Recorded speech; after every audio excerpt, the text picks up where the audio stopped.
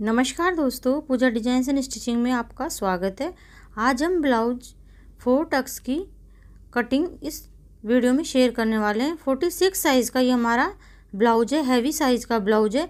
इसको मैंने सरल तरीके से पूरे वीडियो में कटिंग इसकी बताई है। तो अगर आपको वीडियो अच्छा लगे तो लाइक, शेयर करें, मेरे चैनल को सब्सक्राइब करें। तो देखिए, सबसे पहले हम कपड़े को इस तरीके से नीचे से बराबर कर लेंगे। डबल फोल्ड में मेरा ये कपड़ा है, फोल्डिंग साइड मेरी साइड है। सोलह इंच हमें तैयार करना है। तो ये देखिए, सत्रह इंच पर मैं यहाँ पर इसमें एक इंच एक्स्ट्रा लेके यहाँ पर निशान लगा रही हूँ शोल्डर के लिए, टोटल लंबाई पर। अब शोल्डर के यहाँ पर हमें एक स्ट्रेट लाइन ड्रॉ करनी है, ये देखिए। स्ट्रेट लाइन में यहाँ पर ड्रॉ कर लेती हूँ।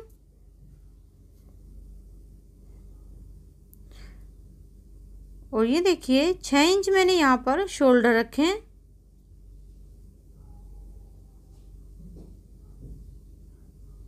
और साढ़े छः इंच पर हमने यहाँ पर आरमोल की जो लंबाई है, वो मैं यहाँ रखने वाली हूँ। दो जगह आप छः इंच पर निशान लगाकर इस तरीके से स्ट्रेट लाइन ड्रॉ करें। साढ़े छः इंच पर मैंने आरमोल ड्रॉ किया है। अब हम इस लाइन को बिल्कुल स्ट्रेट कर देंगे। अब सीने का चौथा भाग हमें यहाँ लेना है। तो साढ़े ग्यारह इंच में यहाँ पर रखने वाली हूँ। ये देखिए, बैक साइड हम स्टार्टिंग में सबसे पहले हम बैक साइड यहाँ पर काट रहे हैं। तो ये देखिए, साढ़े ग्यारह इंच पर मैंने निशान लगाया और डेढ़ इंच हम सिलाई मार्जिन पर निशान लगा रहे हैं। नीचे से कमर हमारी जो है चौवालीस इंच है तो चौवालीस इंच का चौथा भाग ग्यारह होता है तो ग्यारह में एक इंच बैक साइड में हम टक्स लगाएँगे। ये देखिए, उसके लिए है तो मैं यहाँ पर बारह इंच पर निशान लगा लूँगी, नीचे कमर के लिए। और डेढ़ इंच एक्स्ट्रा रहेगा हमारा, और ये दोनों लाइनों को इस तरीके से स्ट्रेट ड्रॉ कर देंगे। अब आर्म होल की गोलाई के लिए मैं यहाँ पर दो इंच पर गोलाई दूँगी क्योंकि ये हमारा हैवी साइज़ है। अगर हम डेढ़ इंच पर देंगे तो बैक साइड से ये खिंचेगा। इसलिए मैंने दो इंच पर यहाँ पर गोलाई दी है। ढाई इंच पर नेक की चौड़ाई पर निशान लगाया और ये देखिए, साढ़े आठ इंच पर मैं यहाँ पर नेक की लंबाई पर निशान लगा रही हूँ। तीन इंच पर नीचे निशान लगाकर एक बॉक्स ड्रॉ कर लेंगे। बॉक्स पर हमें राउंड नेक लगाना है तो ये राउंड नेक की सेफ़ मैंने यहाँ पर ड्रॉ कर दी है। आप अपने अकॉर्डिंग कोई भी सेफ़ यहाँ पर ले सकते हैं। हाफ़ इंच का मैंने शोल्डर डाउन किया है नेक की साइड ताकि शोल्डर हमारे कंधे गिरने की प्रॉब्लम ना हो। टक्स पॉइंट पर मैंने 12 इंच पर निशान लगाया है। ये देखिए। और बैक साइड में हमें एक इंच की डाट इस तरीके से लगा लेनी है। और इस पर हम कट लगा लेंगे जो दोनों साइड हमें सेम मार्किंग में आसानी रहे। ये हमारा बैक साइड हो गया। तो बैक साइड को मैं इसी पर मार्किंग पर कटिंग कर लूँगी। नीचे से बराबर करते हुए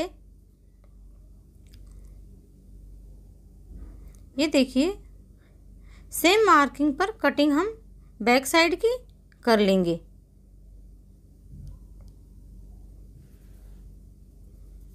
दोस्तों, वीडियो अच्छा लगे तो प्लीज़ मेरे चैनल को सब्सक्राइब करें, वीडियो को लाइक, शेयर ज़रूर करें। ये बैक साइड हमारा कट चुका है।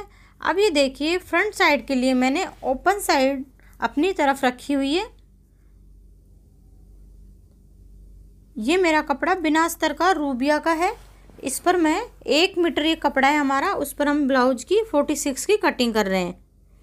तो ये देखिए, ऊपर हम इस तरीके से एक सीधी लाइन ड्रॉ कर लेंगे, शोल्डर के लिए, फ्रंट पार्ट के लिए।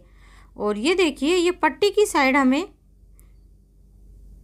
पाव इंच की सीधी स्ट्रेट लाइन ड्रॉ करनी है। हुक आई, पट्टी के लिए हमें ये मार्जिन रखा है।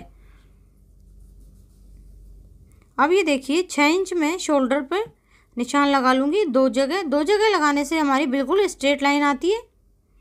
और ये साढ़े छः इंच पर हम इस तरीके से आर्म होल का निशान लगा लेंगे। बैक साइड में मैंने यहाँ पर साढ़े ग्यारह इंच लिया था, फ्रंट पर हमें बारह लेना है, क्योंकि फ्रंट में, आर मोल में हम एक डार्ट डालते हैं फोर टक्स में, उसमें हमारा हाफ़ इंच कपड़ा चला जाता है, इसलिए हमें यहाँ पर हाफ़ इंच एक्स्ट्रा लेना है। अंदर की साइड ये देखिए, मैंने हाफ़ इंच पर निशान लगाया है। फ्रंट पार्ट में हम अंदर की साइड हाफ़ इंच ज़्यादा लेके इस तरीके से गुलाई देते हैं। तो मैंने सवा इंच पर ये गुलाई दिए नॉर्मल हम यहाँ पर एक इंच पर देते हैं। ढाई इंच पर नेक को ड्रॉ करके फ्रंट साइड में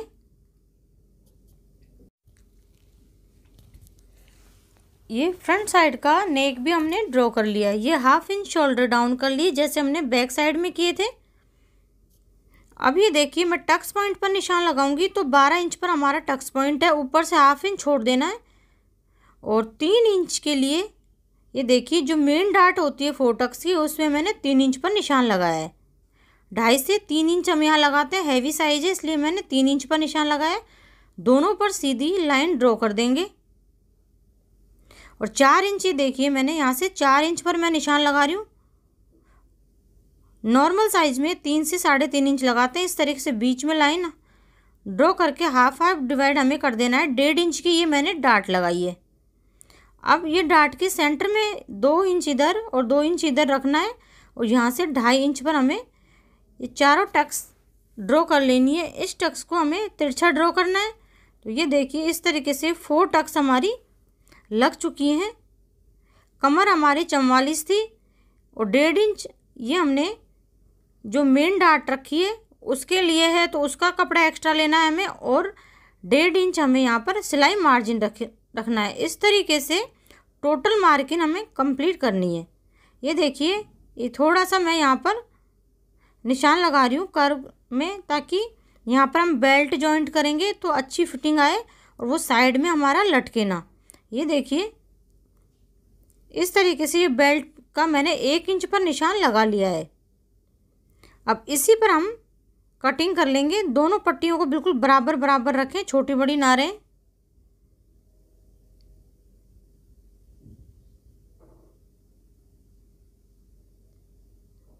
ये देखिए फ्रंट पार्ट के जो दोनों पार्ट्स हैं, एक साथ इस तरीके से कटिंग हो जाएँगे। बहुत आसान तरीका है और इससे फिटिंग भी बहुत अच्छी आती है।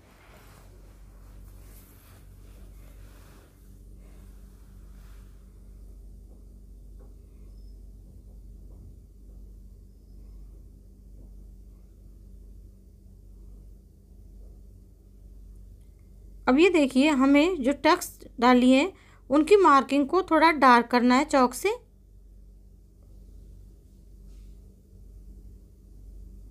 और इसी पर हम जो दूसरा पार्ट है, उसको अच्छे से सेट कर देंगे।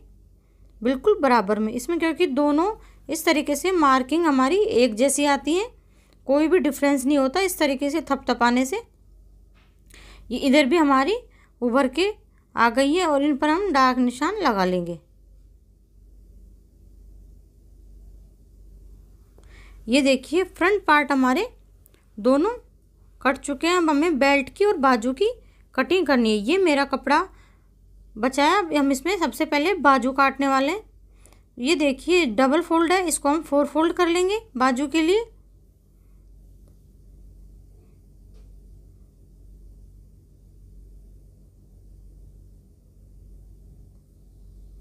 ये देखिए दस इंच पर मैं यहाँ पर निशान लगा रही हूँ फोल्डिंग में और जो सिलाई में जाएगा टोटल में दस इंच पर निशान लगा रही हूँ। आठ इंच की हमारी बाजू यहाँ पर रेडी हो जाएँगी। अब एक सीधी लाइन यहाँ पर ड्रॉ कर देंगे और तीन इंच का झुकाव हम यहाँ पर देंगे स्लीव पर और एक सीधी लाइन ड्रॉ कर देंगे आर्मोल के पॉइंट के लिए। अब देखिए हमें बैक साइड लेना है। बैक साइड में हमें आर्मोल मेजर करना है कि कितना हमारा आर्मोल है। यहाँ से घुमाते हुए ऊपर से सिलाई मार्जिन छोड़ दें। और ये देखिए, पौने दस आया है मेरा यहाँ पर।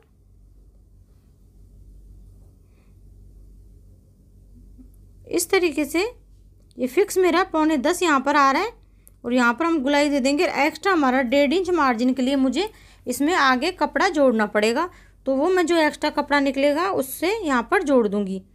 साढ़े सात इंच हमारी जो गोलाई है बाजू की, उस पर मैंने मार्किंग कर दी है और इसी पर हमें कटिंग कर लेनी है।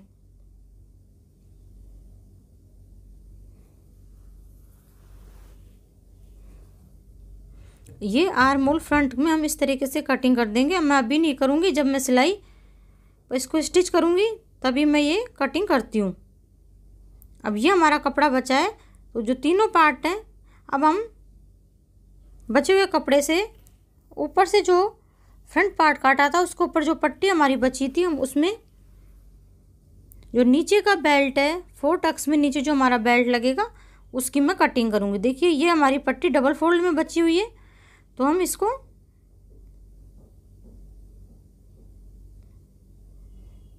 ऐसे रखते हुए निशान लगा लेंगे। ये देखिए, बराबर से टोटल एक बार आप नाप भी लें ताकि छोटा बड़ा ना रहे बेल्ट लगाते वक्त। ये देखिए, ये हमारा इसमें बेल्ट निकल जाएगा। बेल्ट में साइड में थोड़ा सा कपड़ा जॉइंट होगा जो अंदर की साइड हमारा चला जाएगा। तो जो साइड में जो कपड़ा है, ये देखिए, ये साइड में जो कपड़ा निकला है, उसको मैं यहाँ साइड में जोड़ लूँगी। और पिन से हम यहाँ पर लगा देंगे ताकि ये कपड़े हमारे छोटे छोटे इधर उधर ना रहे। तो इस तरीके से फ्रंट में बेल्ट की भी हमारी कटिंग हो चुकी है। अब थोड़ा हमारा कपड़ा बीच का बचा हुआ है। इसमें हम पाइपिंग के लिए तिरछी पट्टियाँ निकालेंगे। ये देखिए। डेढ़ डेढ़ इंच की मैं यहाँ पर पट्टियाँ निकालूँगी। इस तरीके से डेढ़ डेढ़ इंच पर निशान लगाते हुए। ये तिरछी पट्टियाँ हमारी पाइपिंग के लिए भी इसमें से निकल आएँगी।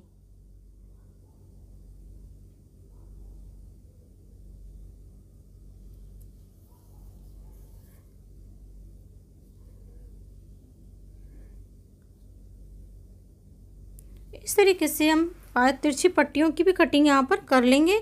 ब्लाउज की लगभग कंप्लीट कटिंग हमारी यहाँ पर हो चुकी है। सरल तरीके से मैंने मेरा फुल जो कटिंग है, इसमें पूरी आपको अच्छे से समझाइए। तो प्लीज़ अगर आपको वीडियो अच्छा लगे तो इसके लाइक शेयर ज़रूर करें। तो ये देखिए कंप्लीट हो चुकी है हमारी।